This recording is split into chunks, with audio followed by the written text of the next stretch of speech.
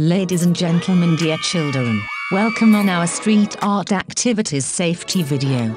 We will be showing our safety demonstration and would like the next few minutes of your complete attention. If your location is at a street corner, please check carefully in case someone is staying next to you. There are several emergency exits on this location, one forward, one at opposite, and one at your side. Please take a few moments now to locate your nearest exit. In some cases, your nearest exit may be blocked by the cops. If we need to evacuate the artwork, police lighting will guide you towards the exit. A life jacket is in the backpack under your neck. To put it on, place it over your head, clip on the waistband and pull it tight.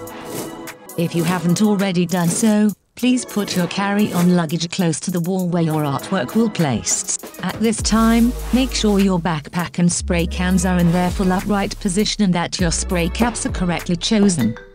Your portable electronic devices must be set to airplane mode until an announcement is made upon arrival. In the event of an airflow, and safety mask will automatically appear in front of you. To start the flow of oxygen, pull the mask towards you. Place it firmly over your nose and mouth. Secure the elastic band behind your head, and breathe normally.